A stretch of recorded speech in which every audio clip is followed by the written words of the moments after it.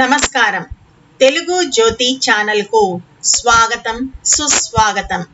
ఈ ఛానల్లో తెలుగు తోట మూడుకు సంబంధించిన ప్రతి పాఠ్యాంశాన్ని పాఠ్య వ్యాకరణాన్ని అర్థాలు వచనాలు వ్యతిరేక పదాలు ఖాళీలు ప్రశ్న జవాబులతో కూడిన నోట్స్ను వేరు వేరు వీడియోలలో ఇవ్వడం జరిగింది. హాయ్ పిల్లలు! ఇప్పుడు మనం ఇరవై రెండో పేజీలో ఉన్న బావిలో నీళ్ళు అనే కథను చదువుకుందాం. అక్బర్ ఆస్థానంలో బీర్బల్ అనే మంత్రి ఉండేవాడు. ఆయన ఏ సమస్యనైనా తన తెలివితేటలతో సులువుగా పరిష్కరించేవాడు. అక్బర్ అనే ఒక రాజు ఉండేవాటమ్మా. ఆయన దగ్గర బీర్బల్ అనే మంత్రి ఉండేవాట. ఆయన చాలా తెలివైనవాడు.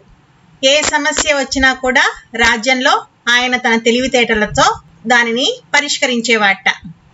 ఆ రాజ్యంలో ఒక జమీందారు ఉన్నాడు. అతను రైతుకి ఒక బావి అమ్మాడు.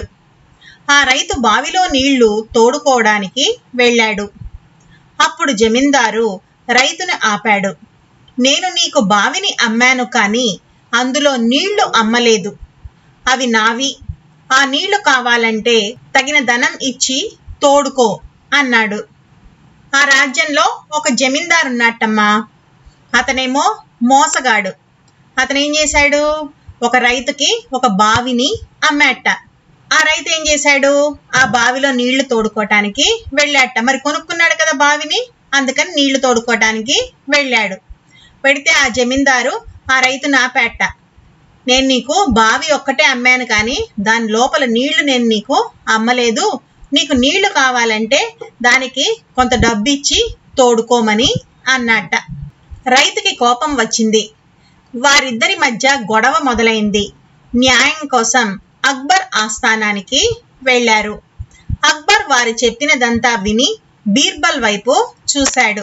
సమస్యను పరిష్కరించమన్నాడు. ఏం జరిగిందిటమ్మా? వాళ్ళిద్దరూ కలిసి గొడవ పడ్డారట ఆ విషయంలో. మరి బావి కొనుక్కుంటే బావిలో నీళ్ళు కూడా అతనివే అవుతాయి కదా?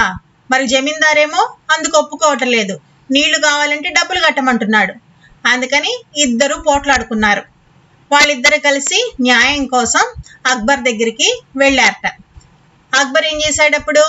ఈ సమస్యని పరిష్కరించమని బీర్బల్ వంక చూశాట బీర్బల్ కొద్దిసేపు ఆలోచించాడు. జమీందారు వైపు చూసి ఇలా అన్నాడు.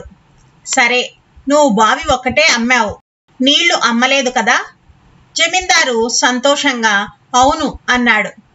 బీర్బల్ అడిగాడు. బావి రైతుదేనా?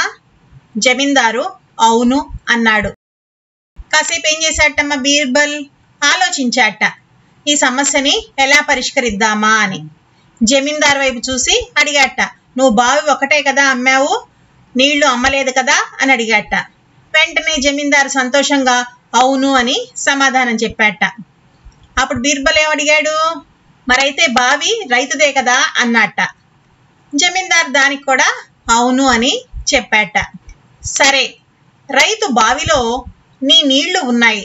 వెంటనే బావిలోని నీళ్ళన్నీ తోడుకొని వెళ్ళిపో. లేదా నీళ్ళు పెట్టుకున్నందుకు రైతుకు అద్దె చెల్లించు అని తీర్మానించాడు. ఏం చెప్పాటమ్మా బీర్బల్ అప్పుడు? ఇప్పుడు రైతుది కదా బావి ఆ బావిలో నీ నీళ్ళు దాచిపెట్టుకున్నావు. కాబట్టి ఆ నీళ్ళన్నీ తోడుకొనైనా ఇళ్ళు. లేదా నీళ్ళు అందులో ఉంచుకునేటట్టయితే దానికి అద్దె చెల్లించు అని చెప్పాట. జమీందారు ముఖం పాలిపోయింది. చేసిన తప్పుకు తలదించుకున్నాడు. రైతుని మోసం చెయ్యాలనుకున్నందుకు తనని క్షమించమని అక్బర్ పాదుషాని వేడుకున్నాడు. రైతు సంతోషించాడు. అక్బర్ బీర్బల్ని అభినందించాడు. వెంటనే జమీందార్ మోసం చేద్దాం అనుకున్నాడు కదా?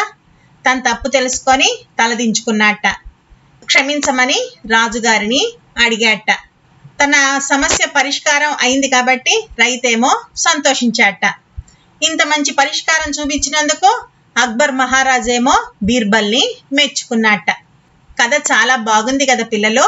ఈ కథని ఇంకొకసారి చదవండి. ఈ వీడియో మీకు నచ్చినట్టయితే లైక్ షేర్ మరియు సబ్స్క్రైబ్ చేయండి. కొత్త వీడియో నోటిఫికేషన్ కొరకు బెల్ ఐకాన్ను ట్యాప్ చేయండి.